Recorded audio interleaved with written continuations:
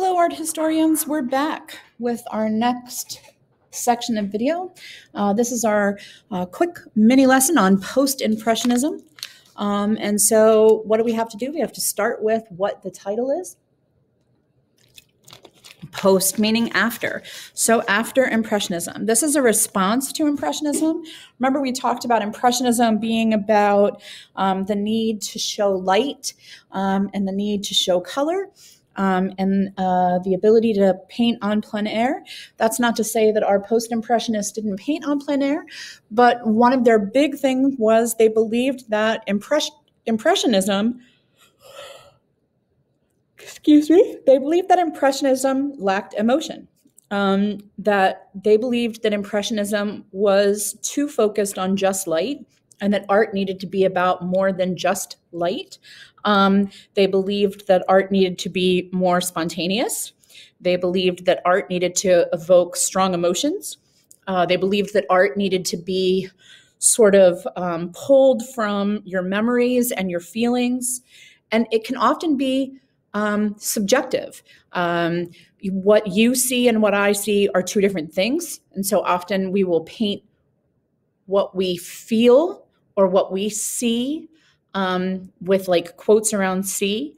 uh, they're usually more spontaneous. And we're looking at vivid colors, sometimes unnatural colors, sometimes arbitrary colors that don't seem to make sense. We're talking about really thick paint, which is called impasto. Um, we're dealing with sometimes distorted forms. We're talking about painting what we feel instead of what we see. And this is as a result of what? Photography. Very good. All right. So this is not one of your guys, but this is Toulouse-Lautrec. Okay, so this gives you sort of an idea of what was I talking about, sort of these odd colors, the odd lighting. Um, it, it definitely pulls on emotion. It's not just about how the light, it's about how you feel looking at this. Um, and we're going to cover uh, two of the most uh, famous post-impressionists. Um, and then uh, we're going to cover somebody that sort of jumps the gap over a couple of them. But we're going to go to, whoops, sorry. We're going to start with uh, Starry Night uh, by Vincent van Gogh. Um, so um, let's talk a little bit about what we see here or about who Van Gogh was. We have to really think about Van Gogh. Um, we have to think about the fact that um, Van Gogh suffered from mental illness and um, a good portion of his art is influenced by that uh, by that mental illness. Um, uh, he suffered probably from bipolar disorder, uh, schizophrenic disorder, some kind of um, disorder like that. He also um, probably had lead poisoning, which uh, is bad for very bad for your brain. Um, and um, he drank a lot of absinthe. Um, which is also very bad for your brain. So he really had um, a lot going against him. Um, uh, he was uh, he suffered from severe depression from a young age, and in 1888 um, he tried to set up an artist commune um, with another artist, and it didn't go well. They fought a lot. Um, there was a lot of tension there. Um, and that led to the two of them getting into a very bad fight. And um, and and that's where we get the famous uh, story about Van Gogh and his ear. Um, Van Gogh was in um, a rage and a violent depression. Um, he cut his ear off. Um, and then he spent uh, a year in um, a mental institution at Saint Remy. And that is where this painting was painted. And that's why we sort of have to have a little bit of background here. Um, this is very different from a lot of his other subjects. He did a lot of uh, still lifes, he did a lot of portraits. Um, we're going to talk about what we're looking at here. he wanted very much wanted to paint a night picture. Uh, he he loved um, the way that the sky looked at night, the way the stars looked. Um, but what's interesting about this is this is a, what we call a, a composite painting. Um, the, this is not uh, the actual view from the um, from the window of his uh, asylum room uh, because the church that you see here in the town is Dutch. Um, Van Gogh was from uh, the Netherlands, so um, the church is Dutch. Uh, the trees here are Mediterranean, um, much southern, southern, southern um, France, um, even down to like near, uh, yeah, like along the, um, I'm getting there, uh, Mediterranean, and then the the the these are like the French mountains, so uh, northern France. So that what we call it a composite picture. You, you couldn't actually look out the window and see these three things together. He pulled a piece from here and a piece from here and a piece from here. Um, and so what we're looking at is um, a, a piece that is an attempt to um, paint from memory. We're very used to artists painting from observation. Um, here we get into painting from memory. It's less important to paint exactly what it looks like, and it's more about what um, it feels like. Uh, Van Gogh himself said it was an exaggeration. Uh, he described something about it being sort of like an extended observation, about looking at the night sky over a period of time. Um, uh, now, with our modern vocabulary, it's almost like what we would use uh, he was trying to create almost like a time lapse photo, right? He was trying to to show the way that the the sky moves and the sun and the, and the stars and everything move in the sky.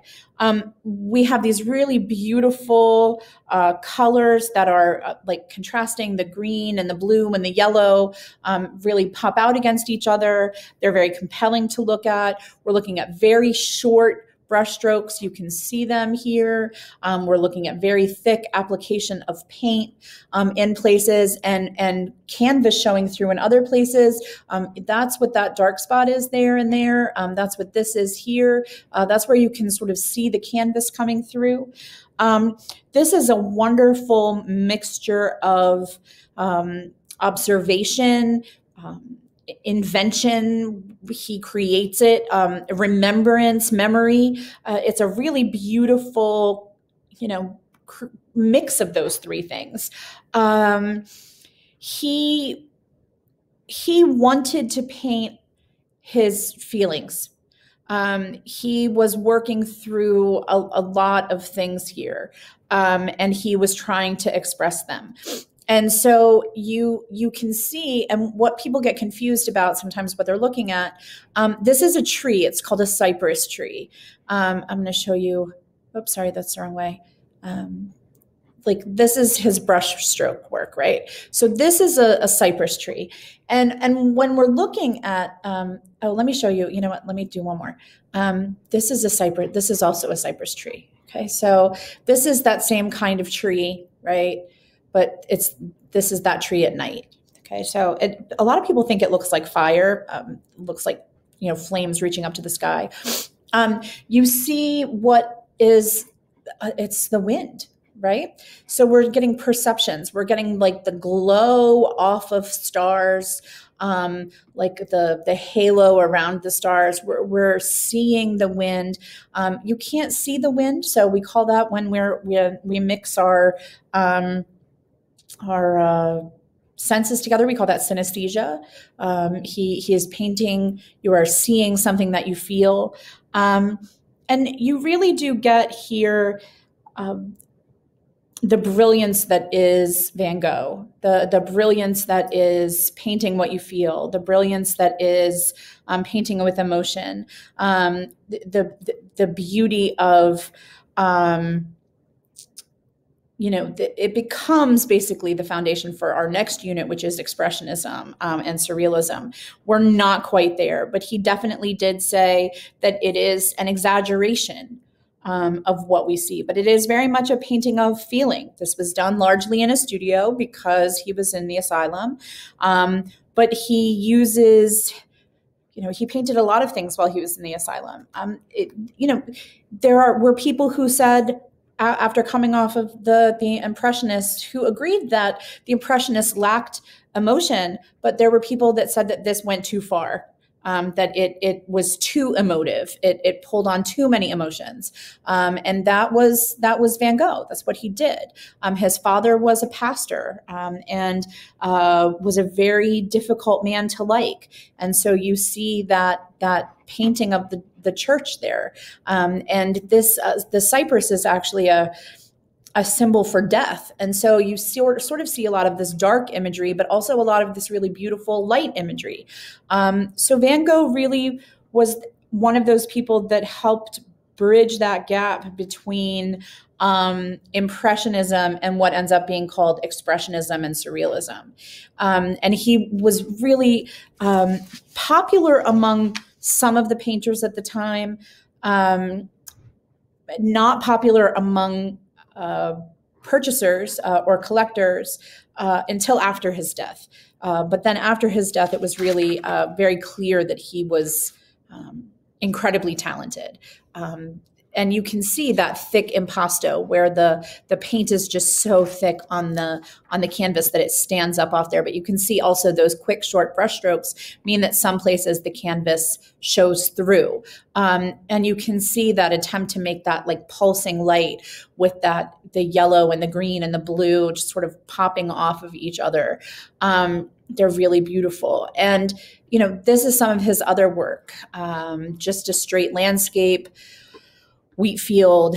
Um, this is Dr. Gachet, his his psychiatrist at the um, asylum, um, who was himself also a very sad man. But you can see sort of the the pieces of the the um, canvas from beneath. Um, and then uh, this one is at the National Gallery of Art in DC, so you can go see it anytime you want. Um, and so. Uh, uh, you can just see the thick impasto here. You can see the the brush strokes down here. Um, just really this idea of of painting with um, emotion, painting with um, attempting to pull emotion. Now, when I said that he was in a terrible fight with another artist, he had set up what he was trying to call an, an art commune in a little building called the Yellow House in a city called Arles, A R L E S. And he invited a fellow painter, uh, Paul Gauguin, to come and live with him. And Gauguin was the man that uh, was living with Van Gogh. Um, uh, at the time that Van Gogh had his um, his breakdown. Um, Van uh, he is partially responsible for um, some of the difficulties that Van Gogh went through at that time period because Gauguin is a self-centered. N- not a very kind person. And so, um, you know, he was really rough on Van Gogh. And um, it was Gauguin that he was actually fighting with the night of the um, famous ear ear incident. Um, so what's interesting about Gauguin is um, Gauguin was a stockbroker, and then he moved to Tahiti um, in 1891 uh, to 1893. So just after his stay at the, the Yellow House with Van Gogh, um, he moved to Tahiti. Then he went back to France uh, for a couple of years. And then in 1895, he moved back to Tahiti again and stayed in Tahiti until his death. And so, um, what you see here is um, a, a, monumental painting, huge, that's the word we use, monumental painting, um, that was painted in that second round of living in um, Tahiti um, when he left his wife and children, uh, stopped being a stockbroker, and moved to Tahiti. Um, uh, to to live there and um, to paint. Um, so we see a lot of things going on here, um, and we need to talk about sort of what we're looking um, at. So we're looking at a huge painting, 15 feet long by six feet tall. Um, it is a, a painting in three pieces. Where do we come from? So what is our past? What are we? So our present, and where are we going? So our future. Um, it is um, it's an interesting um, painting in that it has a lot of symbolism, which was also a really big piece of uh, post impressionism, is the idea of, of things being uh, symbolic. It really becomes a big deal um, in expressionism, the idea of symbolism. Um, but there is a, a good portion of symbolism in post impressionism, and so what you see is um, what is uh, Gauguin's largest work that he creates in his lifetime. Uh, Gauguin believed that it was the greatest work of his lifetime. Um, he he suffered from bad health. That's what made him move from Tahiti back to France the first time. Excuse me. Um, and you know, he when he moved back to Tahiti, the second stay in Tahiti, he suffered from bad health. Um, he was obsessed with the idea that he was going to die. Um, and he really felt like he he needed to to paint this monumental piece that tells the story of life and death and birth and the afterlife and all that stuff. And that's what you see here. Um, it was painted over the course of a month, um, so the end of December into January, and um, he he believed really that this was was this was it. This was his big thing. And and what you're going to see is there's odd pieces of people being out of proportion um, and there are odd like um, it's a symbolist work so you have to sort of interpret what you're looking at. Um, it he once said that he wanted you to be um, reminded of, of ancient frescoes uh, and so it is meant to be read from right to left. Um, so where do we come from? Um, we we see an infant here um, and uh, a young mother and her husband, right? So a, a young couple. Um, and this is, you know, our past. Um, back here, we see um, what are some important uh, figures that seem uh, like they're looking back, right? They're, they're looking back into the past. Okay. In the middle, here we see, you know, this figure here standing up, picking the fruit, right? We're in, in the middle of life. Um, we're picking the fruit of life. Um, um, he often called it picking the fruit of the world. Um, and, and in the foreground, we really have like a lot of really positive images. In the background, we have a lot of sort of negative images. And as we move over, um, you know, we had an infant and now we have a small child, a young woman, and an old woman. Um, and then in the back, we have what is called the blue idol, is representative of the beyond, the life that comes after our life. Um, and um, we also have in the back what appears to be a garden, jungle sort of thing. And when we see the, the sleeping child here, um, and we see these women talking. We see you know our, our movement from youth to teenagehood to middle age to having children of our own to being an old woman right? So we watch um, the the life sort of uh, go along from from right to left. Um, and that is where did we come from? Who are we? Where are we going right? Um, and then when we're looking at it, we also see this idea of the for, figure in the front. What are we? Um, is this idea of like that it's much larger because we we worry a lot about where we what we are who we are what we're doing um, but it's really also important that we see this figure here and this figure here there there is a, a reference to to the aztecs to um, the ancient peruvians um, so the the the um, the Incas uh, because there had been a, a Peruvian mummy uh, exhibit in Paris just before uh, he went to um, Tahiti, and so he was influenced by sort of those ancient burial traditions. And so we see, you know, this infancy, you know, the young love teenagerhood um, and moving into some of our older age and and and you know what's happening with us and where we're headed um, so again the foreground is is good, like closest to us is good, and the background is is scary and un, unknown. Um, there are also some figures that seem to pop out at us that kind of look a little bit frightening. That maybe don't look quite as frightening when we pull away, but that almost looks like a scary face. And so, um, you know, Gauguin was all about trying to paint, um, you know, the, this grand cycle of life. Um, and you know, he believed that he he did that here. Um, so you know the the symbolism of our our youth and our middle age and our our go our our journey from being a child to having children to being an old person um, is all here. Um, then we're going to do this one. This is Cezanne. And when we deal with Cezanne, he is um, a post impressionist as well. Um, and he is sort of like at the end of that post impressionism. Um, and he becomes an influence for another uh, uh, actual um, style of art uh, that we'll talk about in a couple of videos called cubism. Um, but you can also you can almost see the beginning of it like how this feels very geometric. There's lots of like squarish sort of shapes. So cezanne um, famous painter did a lot of still lifes um, and um, is actually probably really well known for um, his still lifes and some of his portraits. I'm going to scroll a little bit and show them to you. You may have seen something like this. You may have seen something like that. This is the card players.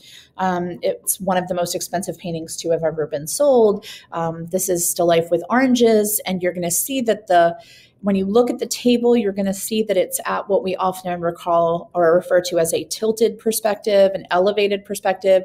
Um, you it, it would be very difficult to actually stand and see this perspective without those oranges rolling off the table. Um, so the, it's less about what is actually there and more about the the feel that you get.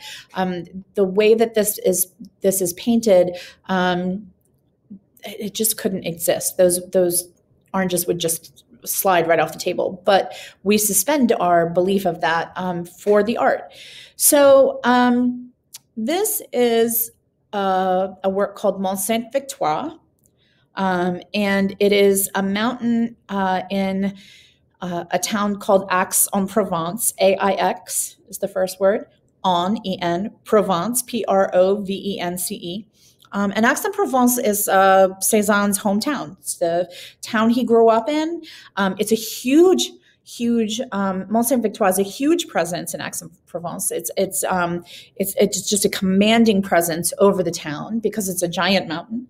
Um, and what uh, Cezanne did was he bought a a little plot of land on a hill, sort of across a valley from Mont Saint Victoire. And so where we are with this painting is we are um, at the the house that Cezanne bought on the little hill across the valley from the mountain. So we're looking um, across. We see some houses. That's what that is. That's a house.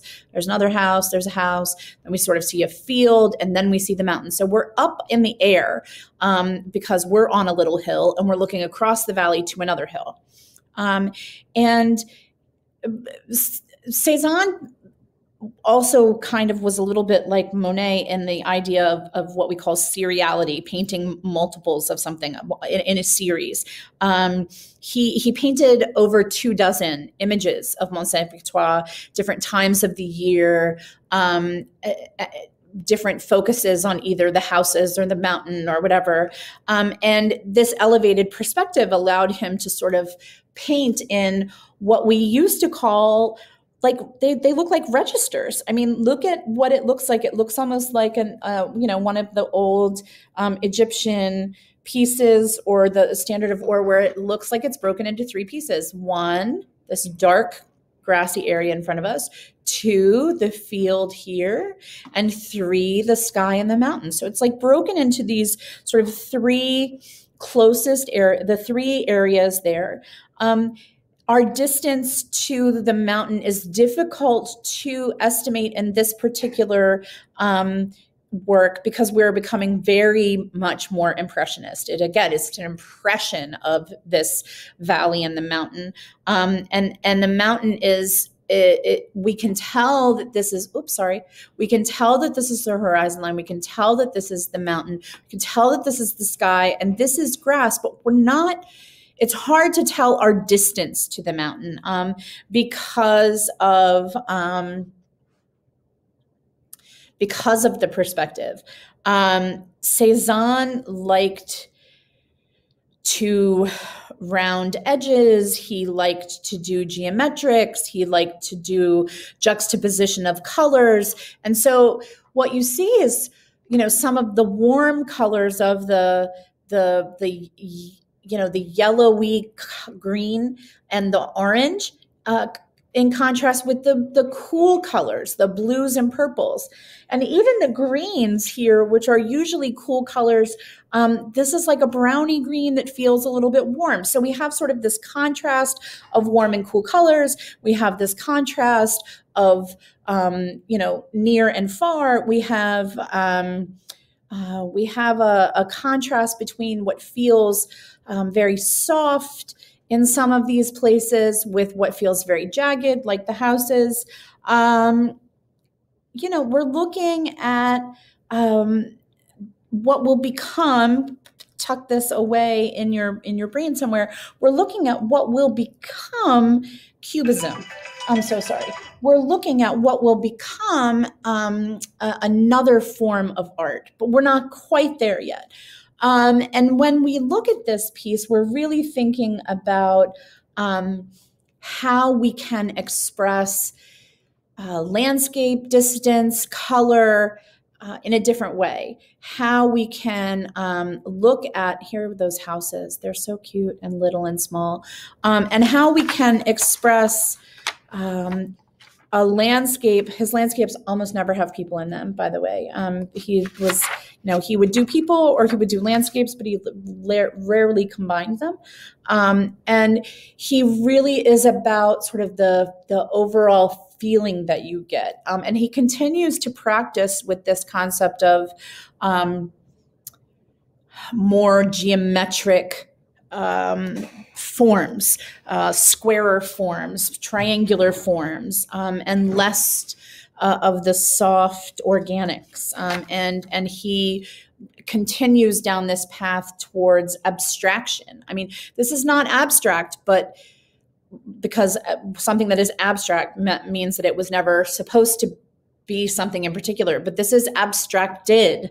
I mean like look at it it's hard to to make out some of the things and that is really important. We're moving closer and closer and closer to to what is um, non-representational abstract. We're we're becoming more and more and more abstracted. This is you know some of his work is more lifelike right but this is really moving away from things that are are more realistic and moving towards things that are much more impressionistic, much more abstracted. Um, and like I said, he's sort of the gateway to cubism. So keep that word in your head. Um, we're going to do one more piece today. We're going to do a work that is part of a, a um, uh, art period called Fauvism. Uh, Fauve means wild beast. Um, and these were um, a group of painters um, that painted uh, sort of in this wild style, um, crazy colors, uh, complementary colors um, that that you know that that make the eye go um, and sort of tension achieved through pattern and and and uh, contrast achieved through um, colors um, and, and well i'll just show you. Uh, so this is matisse um, uh, henri matisse. Uh, it is a, a, piece called the goldfish. Um, goldfish were introduced to europe from asia in um, in the 17th century. Um, and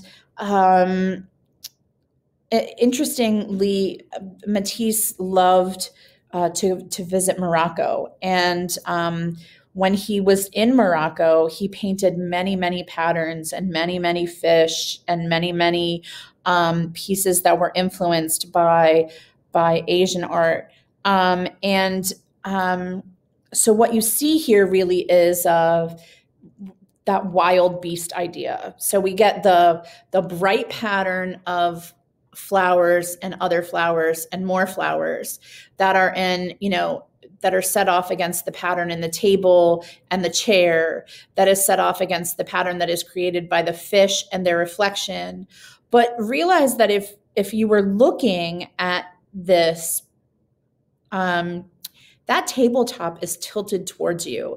Um, if you actually got this image of the fish but that table the, the fish would just fishbowl would just slide right off it. But we have the the patterned wallpaper we have the flowers we have leaves we have the pattern in the chair we have these bright ridiculous colors. Um, we are given um, you know we're given some of these bright reddish oranges with the light pastels um, you know bright vibrant greens with then the the grayish sort of top.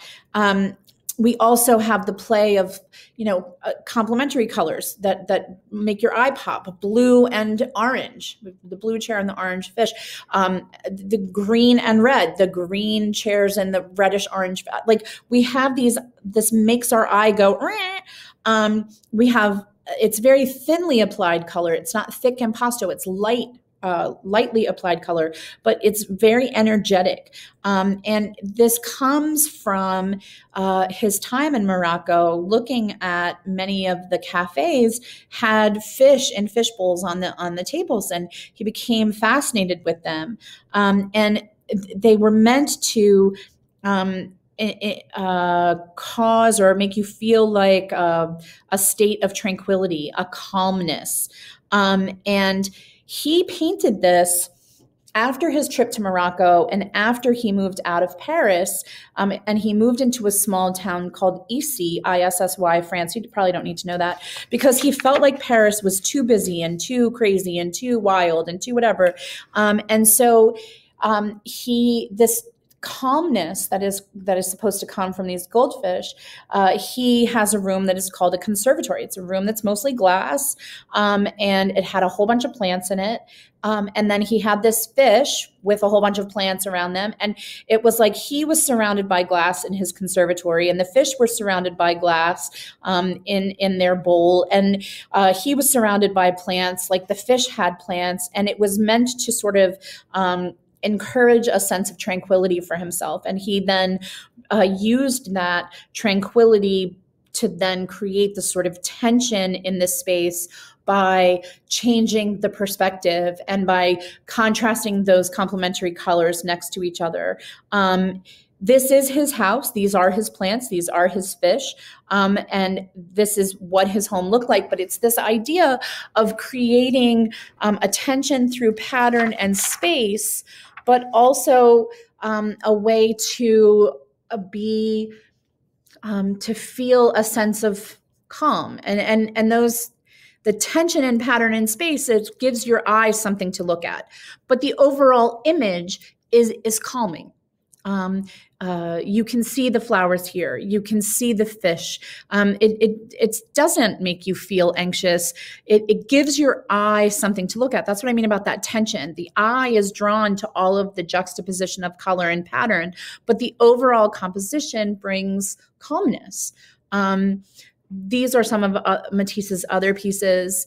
Um, again, here's that influence of pattern, uh, the wildness of color, um, and the the juxtaposition of color here. Um, Matisse was a master um, of artwork and line and color and pattern, um, and so.